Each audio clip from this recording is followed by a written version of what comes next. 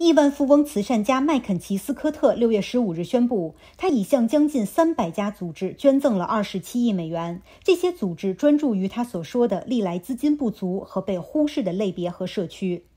二零一九年与亚马逊公司创始人贝佐斯离婚之后，斯科特成为了世界上最富有的女性之一。自那之后，她已经捐出了三轮超过八十亿美元的捐款，每轮捐款都是通过一个令人惊讶的声明公布的。去年在新冠病毒大流行期间，他向食品银行和紧急救援基金捐赠了四十多亿美元。而几个月之前，他宣布向种族平等、LGBTQ 权利和气候变化等事业提供十七亿美元的赠款。这些团体包括加州和德克萨斯州州立大学系统和社区学院等高等教育机构、阿波罗剧院等艺术中心，以及致力于种族和性别平等的组织。